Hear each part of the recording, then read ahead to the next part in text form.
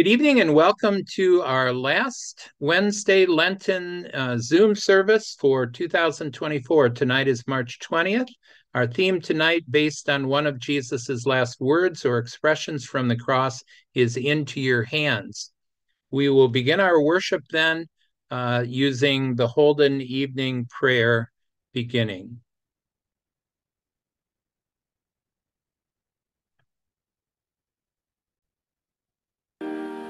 Jesus Christ, you are the light of the world, the light no darkness can overcome. Stay with us now, for it is evening, and the day is almost over. Let your light scatter the darkness, and shine within your people here.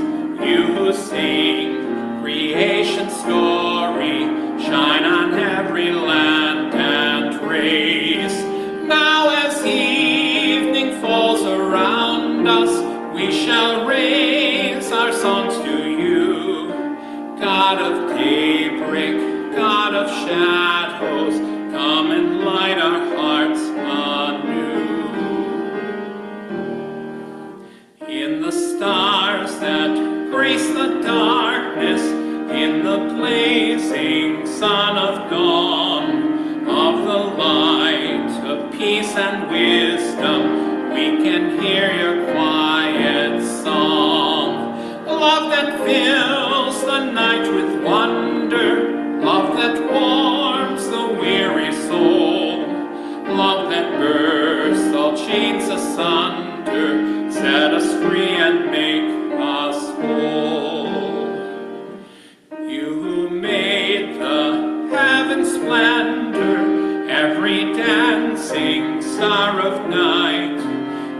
shine with gentle justice. Let us each reflect your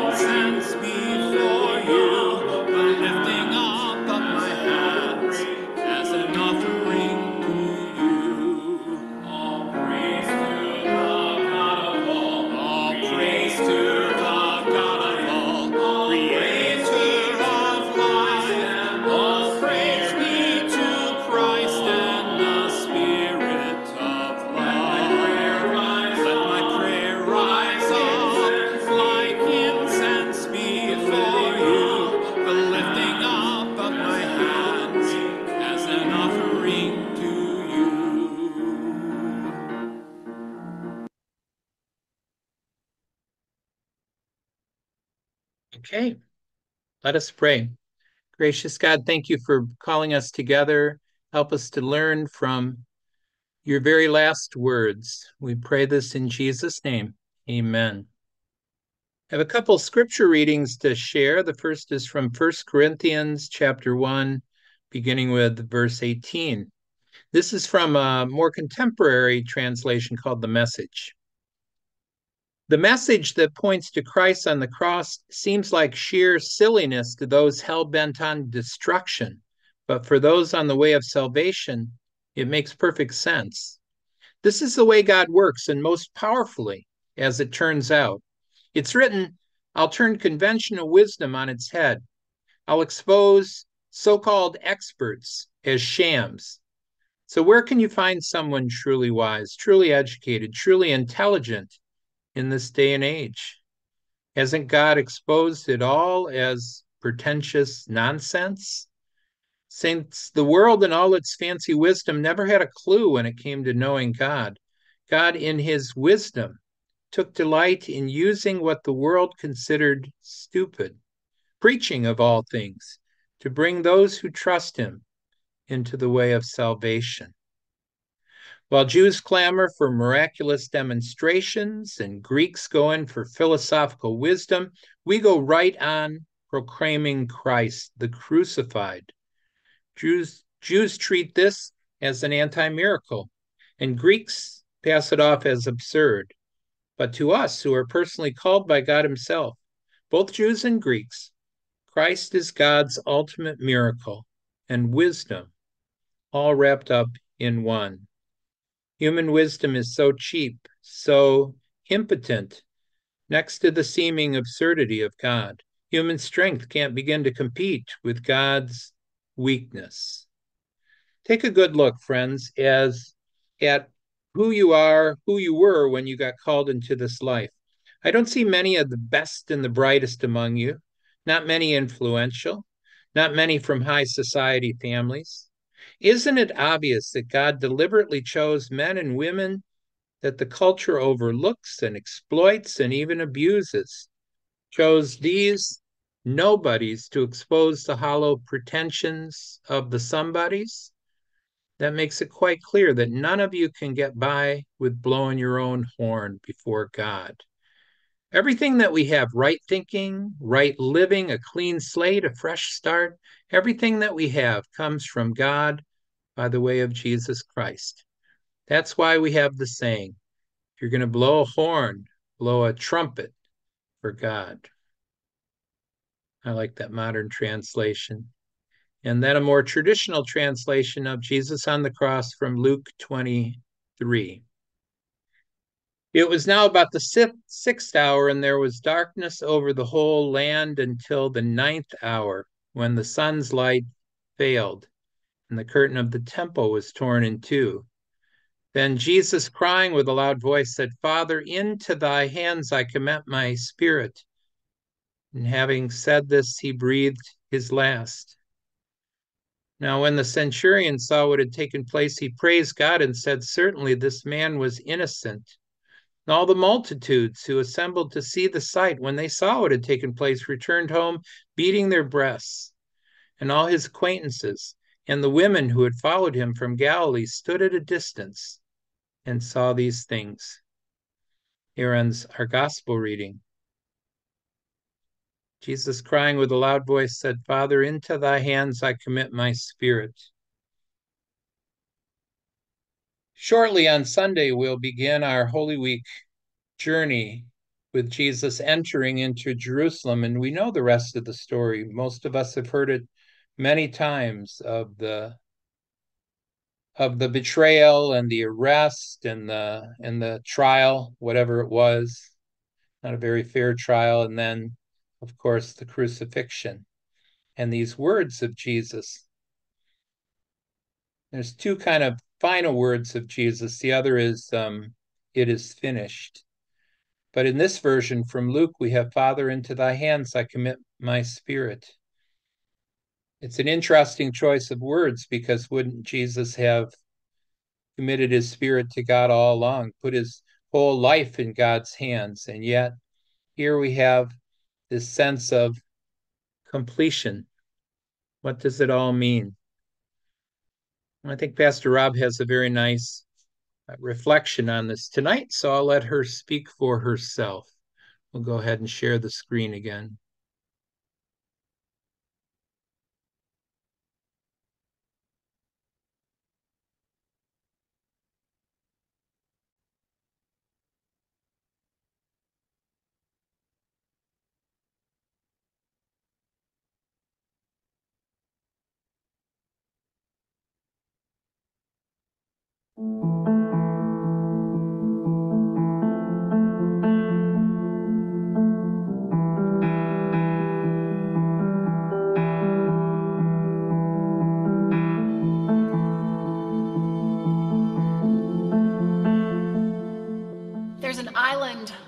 Coast of Scotland called Iona, and it, it was Oops, hold on just a second.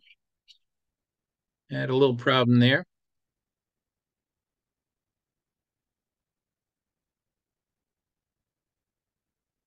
Let's start this over. Sorry about that. Just when I think I have this stuff all down, I am humbled. So I apologize. Let's try this again.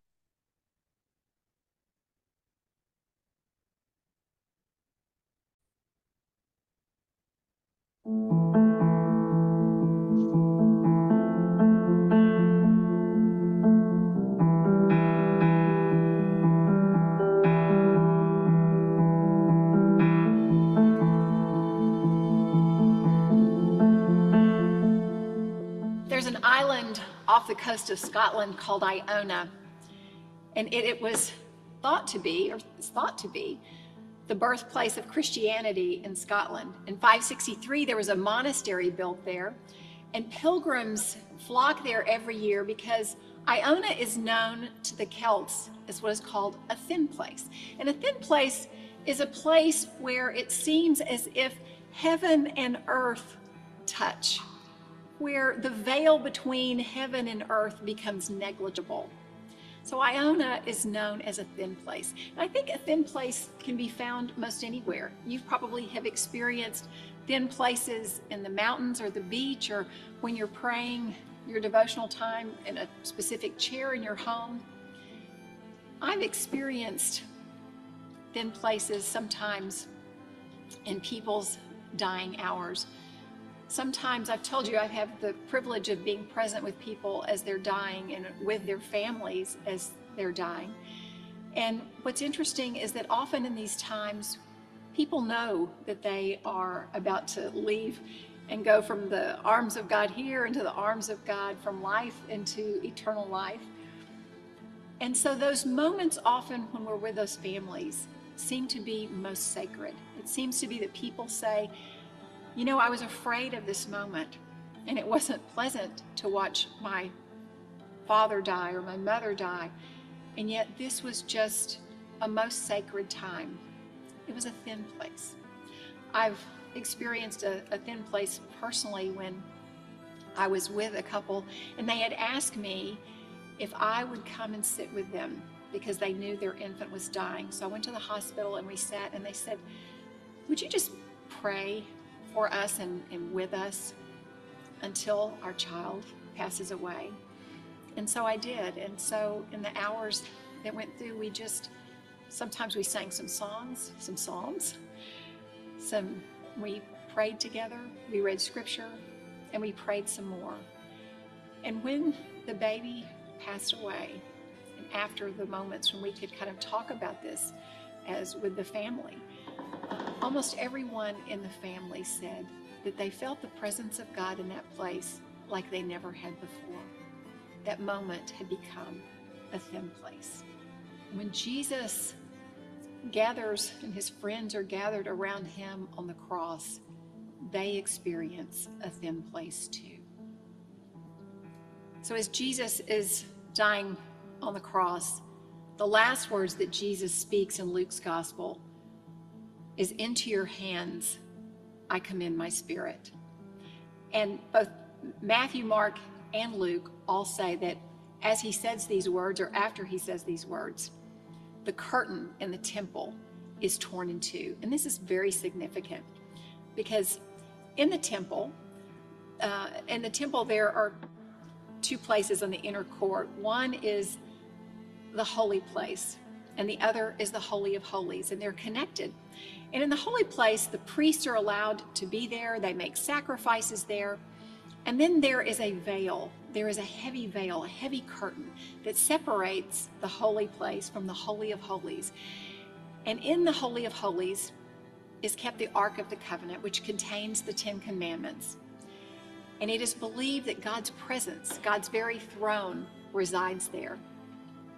And so, what is significant about this is that only the high priest can enter under the curtain, and only one time of year when he goes in to atone for the sins of himself and for the sins of the people of Israel, for sins that are both known and sins that are unknown. The significance of this is that the temple curtain at Jesus' death is torn in two. And what that signifies is that all of a sudden Jesus becomes our high priest, and not only our high priest, he becomes once and for all the one who atones for our sins, the one who saves us from our sins, the one who forgives our sins. So the temple is torn in two, and we have direct access to the presence of God.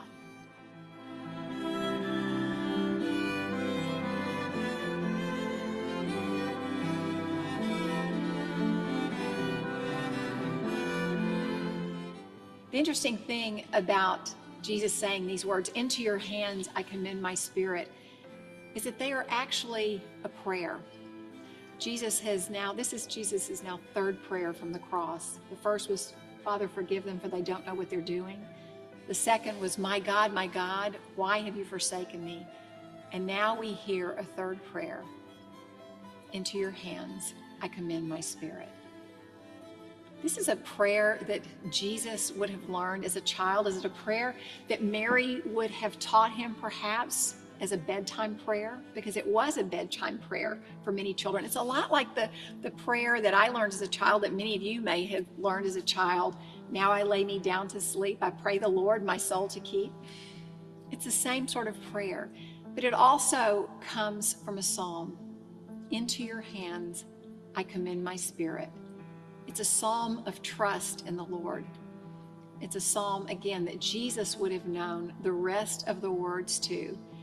And Jesus would have said, Oh Lord, I trust you. I trust in your hands.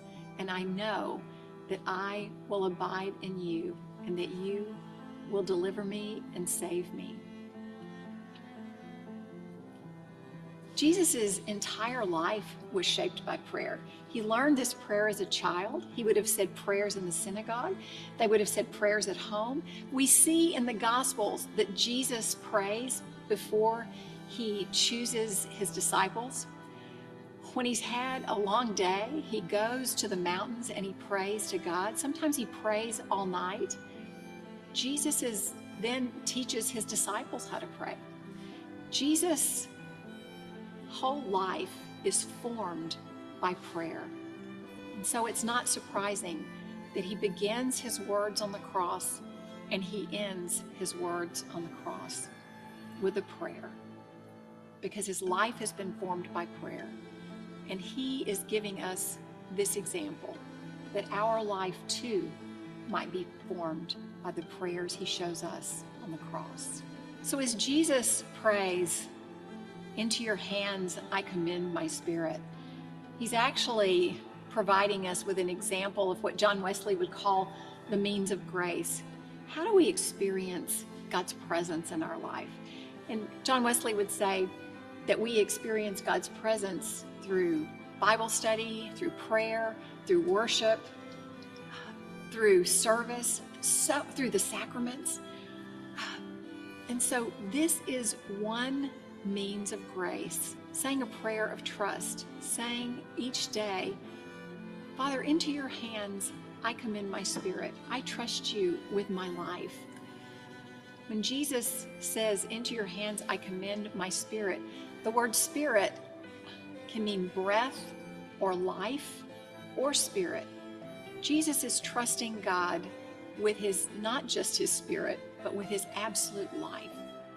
So we're wondering how can we experience God's presence in our life? How can we experience these means of grace? One way to do that is to pray the prayers that Jesus prayed from the cross. Father, forgive them, for they do not know what they are doing. One way is to know the end of the prayer My God, my God, why have you forsaken me? And to know that God really hasn't, and that God is really there in our dark moments. And the third is to say, Father, into your hands I commend my spirit. I trust you with my life. The last words that Jesus speaks from the cross in the Gospel of John offer us as much hope and trust and faith in God as his last words in the Gospel of Luke. Jesus cries out after he has said, I'm thirsty, and he has drunk the cup that he has meant to drink. Jesus cries out in a loud voice, It is finished. And then he gives up his spirit. Jesus has come to show us the character of God, the love of God, the depth of love that God has for each one of us. And he did that through his life, through his example, through his teaching. And now he has done that by giving himself up for us on the cross. Jesus died that we might have life and have it abundantly through his Spirit. That is what has been finished. This is a cry of glory, a cry of victory. It's the one that Jesus wants us to remember. It is finished.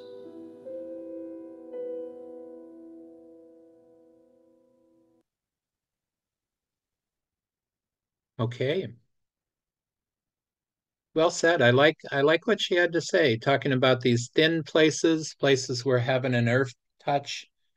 And so often we are touched by God's Spirit when we're in our lowest, when we're struggling. And that really does help us. And how she talked about each of these seven last words or phrases are really prayers from Jesus. Father, forgive them.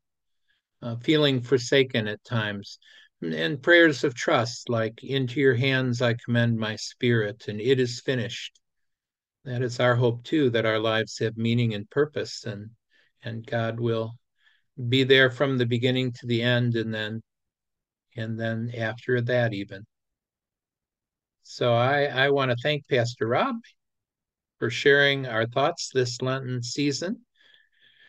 We'll go ahead and move into our holden evening prayers. Let me get that set for us.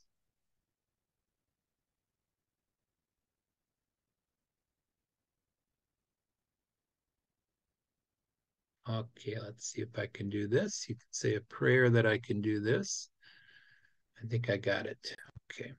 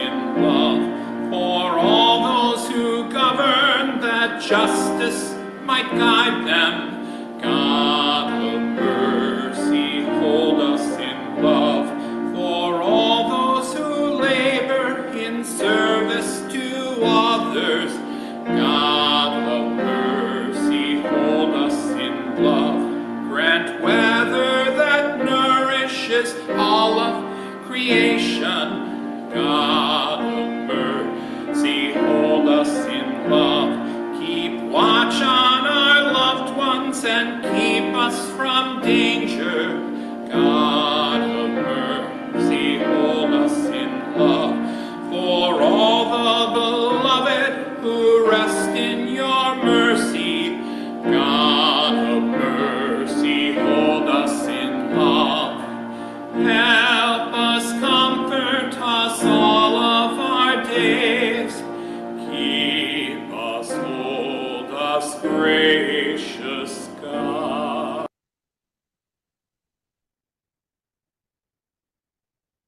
At this time, I'll have you unmute your mics.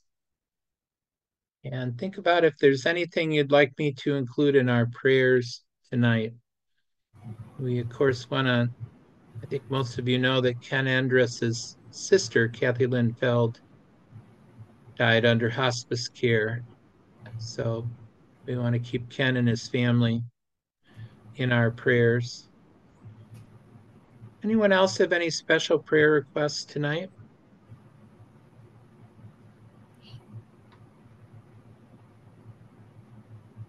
And that's okay.